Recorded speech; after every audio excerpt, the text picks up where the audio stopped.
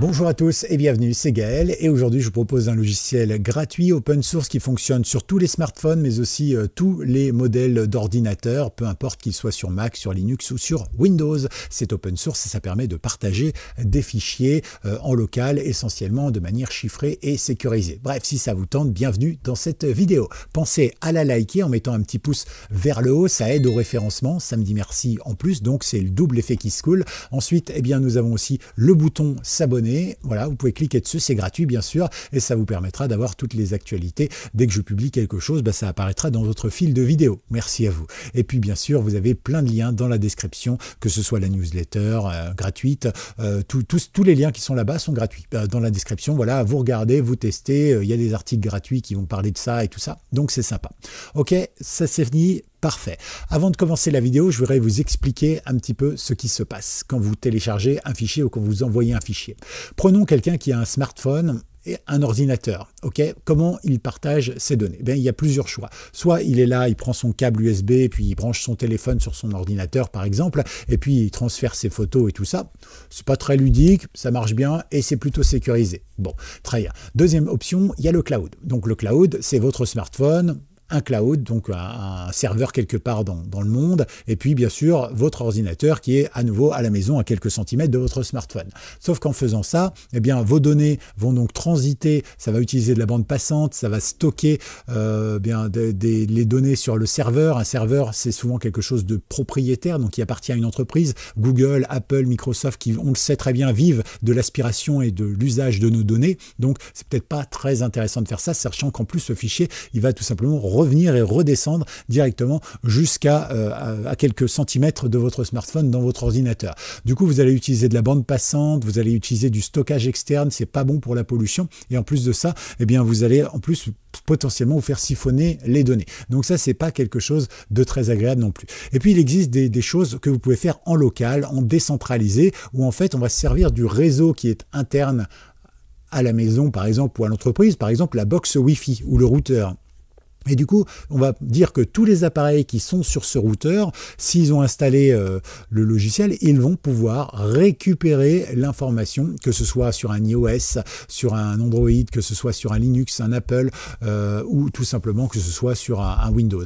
Ok, donc ça c'est quelque chose de très bien. En plus, c'est chiffré de bout en bout, c'est-à-dire que s'il y a euh, un clampin comme ça qui va passer pas loin de votre maison et qui essaye de, pirater les choses, ben en fait, il va pas pouvoir récupérer le fichier parce que euh, va pas pouvoir le décoder par derrière. D'accord? Votre fichier, à partir du moment où il arrive dans ce logiciel, eh bien, il va être chiffré de bout en bout, donc depuis l'arrivée, et il va être déchiffré seulement quand il arrivera dans le logiciel, euh, dans l'ordinateur ou le smartphone, euh, qui sera donc le réceptacle de l'endroit où vous vouliez envoyer votre fichier. D'accord? Donc ça, c'est quelque chose aussi de très sécurisé. Donc c'est un petit peu plus écolo, c'est aussi très sécurisé. L'avantage, c'est que votre fichier ne va pas non plus sur Internet. Du coup, bah, Google, Apple et tout ça, bah, ils vont dire, eh ben nous, on peut plus aspirer les données ou quoi? C'est quoi cette technique?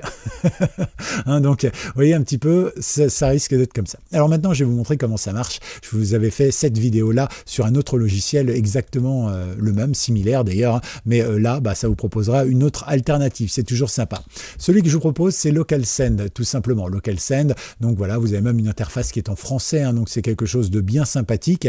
Vous avez bien sûr, c'est décentralisé, c'est ce que je vous expliquais, c'est-à-dire que vous allez passer d'un ordinateur à un smartphone ou à un autre ordinateur directement. Voilà, ça va pas passer par un serveur central situé quelque part dans le monde. C'est cross-platform, ça veut dire que ça fonctionne partout, Windows, macOS, Linux, Android et iOS. LocalSend est bien sûr gratuit, pas de publicité, pas de pistage non plus et pas de coûts cachés. si vous voulez le savoir, bah, vous allez voir tout simplement dans l'open source. Open source, c'est quoi? Bah, C'est le code qui est affiché. Alors oui, certes, il faut euh, savoir lire un petit peu les choses, mais si vous avez un doute, de toute façon, vous avez, comme tout le monde a accès à ça, eh bien, une sorte de forum à chaque fois sur les dépôts qui vous permettent bah, de voir un petit peu ce que les gens ont dit, genre ouais, c'est honteux ton truc, on récupère les données et tout ça.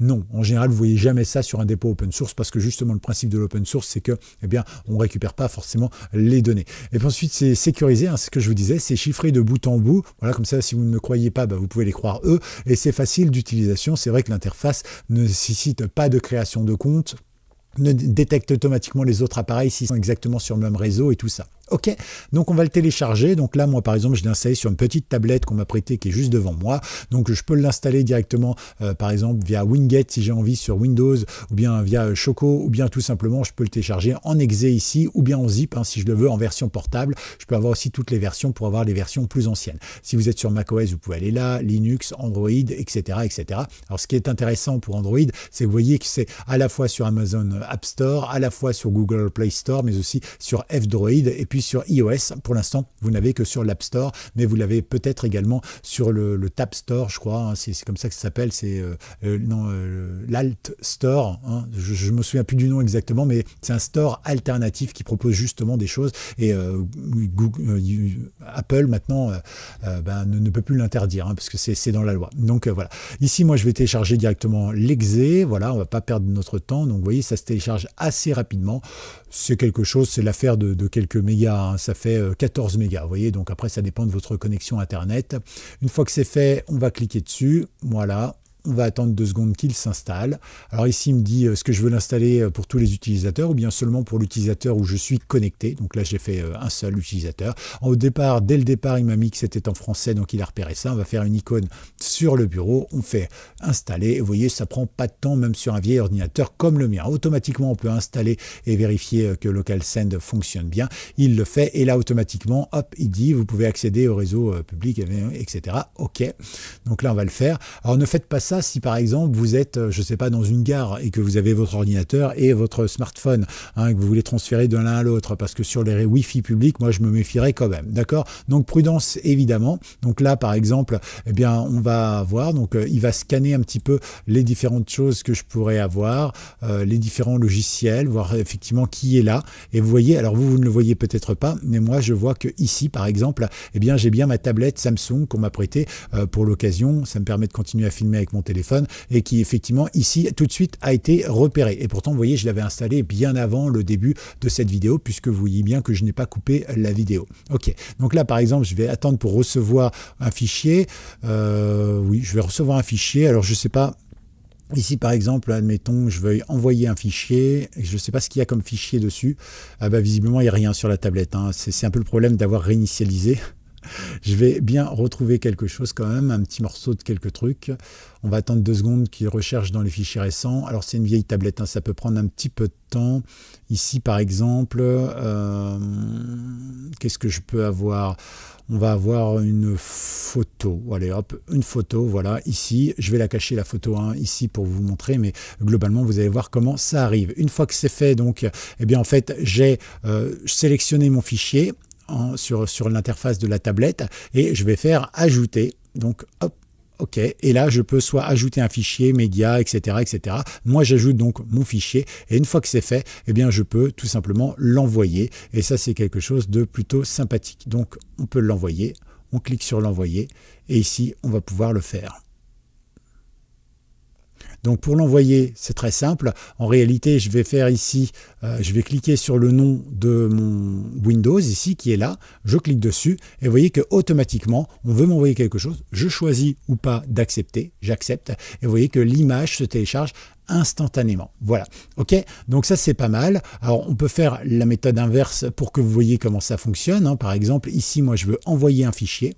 Donc ici, par exemple, je vais chercher un fichier, donc n'importe lequel. Ici, je vais aller dans, qu'est-ce que j'ai comme euh, fichier? Peut-être dans téléchargement, tuto. Voilà, euh, je vais envoyer euh, celle-ci, voilà, une image comme ça, hop, je l'envoie. Je peux sélectionner ici maintenant ou envoyer ou ajouter d'autres fichiers, hein, si j'en ai envie bien sûr. Je peux sélectionner, on voit bien ma tablette Samsung qui est là. Je clique sur envoyer. Ici, sur ma tablette, alors vous ne le voyez peut-être pas, mais je ne sais pas si vous le voyez bien là, mais globalement, ici, il me propose tout simplement eh bien d'accepter ou de refuser. Donc ici, moi, ce que je vais faire, c'est accepter. Voilà. Et donc là, il me dit autoriser LocalSend à accéder aux photos et au contenu et tout ça pour pouvoir stocker la photo qu'il a récupérée. Et voyez que ça a été bien envoyé et que je l'ai bien sur mon smartphone. C'est pas plus compliqué que ça. Ça ressemble beaucoup à ce logiciel. Voilà, c'est deux logiciels, j'allais dire concurrents, mais pas vraiment deux idées de projet évidemment, et qui vous permettront de transférer euh, très facilement des données. Il n'y a pas vraiment de limite. Hein. Vous pouvez envoyer des fichiers, des fichiers et des fichiers. Alors ce sera très rapide, sauf évidemment si vous en envoyez beaucoup. Du coup, bah, la bande passante de votre votre box ou de votre routeur pourra être réduite, évidemment. Hein. Si vous mettez 200 véhicules sur euh, une double voie, ça va être un peu compliqué aux heures de pointe, d'accord? Par contre, s'il n'y a que 3 véhicules, ça va bien rouler. Bah, c'est le même principe pour la bande passante. Attention, je schématise. Quand on va dans les paramètres rapidement ici, vous voyez, vous avez euh, le thème système, vous avez le mode sombre éventuellement si vous le souhaitez, qui est pas mauvais, mauvais, hein, moche, moche, moche. La couleur, évidemment, là aussi, vous pouvez changer vos couleurs si vous le souhaitez, comme ça OLED. Moi, je trouve ça plutôt sympa. La langue, celle du système, mais vous pouvez changer euh, de évidemment. Vous pouvez réduire ça dans la barre de tâches à la fermeture ou bien fermer définitivement. Lancer Local Send directement à la connexion de l'utilisateur, ça peut être pratique, comme ça, c'est toujours fait. Mais attention, en termes de sécurité, ça veut dire que si quelqu'un a envie de vous envoyer un truc ou, ou pourquoi pas de réceptionner un truc euh, pendant que vous n'êtes pas là, euh, il n'aura pas allumé Local Send, c'est déjà là. Voilà, donc moi je ferai attention. Pour la réception, c'est pareil, sauvegarde rapide. Euh, voilà, vous pouvez demander un, code PIN pour être euh, certain que c'est vous qui allez euh, réceptionner quelque chose sur votre ordinateur ou sur votre smartphone. D'accord? Donc ça, c'est plutôt sympa aussi. Ça, donne une meilleure sécurité peut-être. Vous pouvez archiver l'historique ou pas. D'accord? Vous pouvez voilà redémarrer le, réseau. Hein. Alors ce ne sera pas votre box, hein, mais ce sera tout simplement le réseau de local send. Voilà, si jamais à un moment il, ne calcule plus rien, ça peut arriver hein, de temps en temps. Et voilà ici vous avez toutes les informations, vous pouvez même faire un petit don si vous le souhaitez. Voilà, voilà pour ces informations et ces mises à jour très régulièrement. Vous l'avez vu ici, ces mises à jour euh, en 2025. Hein, voilà, et nous sommes, ça tombe bien, en 2025. Voilà un petit peu tout ce que je voulais vous montrer. Donc vous voyez, c'est super simple. Ici, euh, trois boutons, euh, dont un dont vous servirez quasiment jamais, recevoir ou envoyer selon ce que vous voulez faire. Et après, vous voyez, bah, c'est tout en français. Il suffit de suivre. Vous pouvez bien sûr envoyer des fichiers, des dossiers, des textes ou carrément ce que vous avez dans votre presse papier. Ça peut être pratique. Vous copiez un texte ici vous voulez le récupérer sur votre smartphone, eh bien vous pouvez le faire ou inversement. Ça aussi, c'est quelque chose de pratique. Voilà, vous pouvez chercher manuellement directement avec l'adresse IP locale, voilà, mettre des choses en favori, ou bien ici, vous avez le mode d'envoi que vous pouvez choisir directement euh, sur plusieurs appareils en même temps. Ici, partager via un lien, ou bien voilà, c'est comme vous voulez, hein, ça marche bien. Donc on récapitule, c'est un logiciel gratuit, open source, qui fonctionne sur Linux, sur Windows, sur Mac, sur Android et sur iOS, donc ça fonctionne partout.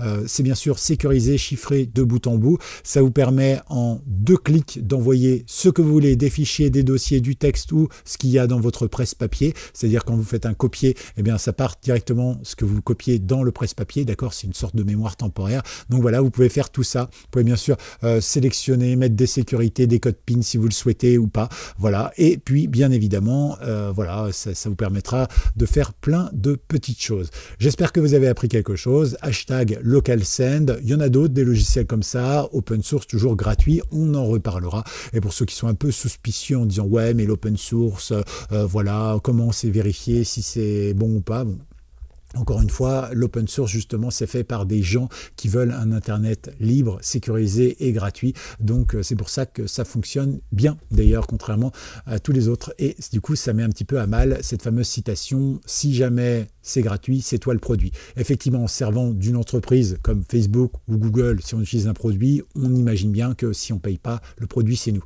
Mais quand on n'a rien à gagner, il n'y a pas de récupération de données, il n'y a pas de récupération d'infos, de logs ou quoi que ce soit, et eh ben, du coup, il n'y a, a pas de produit humain, entre guillemets. Il n'y a qu'un logiciel qui peut servir à tout le monde. Voilà un petit peu pour la philosophie. N'hésitez pas à liker cette vidéo avec un pouce comme ça si ce n'est pas déjà fait. Pensez à vous abonner, vous appuyez sur le bouton s'abonner, c'est gratuit, bien évidemment. Et regardez dans la description je vous mets des tas de bonus, l'inscription de la newsletter gratuite, le lien vers ce logiciel, etc. etc. À tout bientôt, c'était Gaël. Hashtag LocalSend si vous avez été jusqu'au bout. Je vous embrasse. Ciao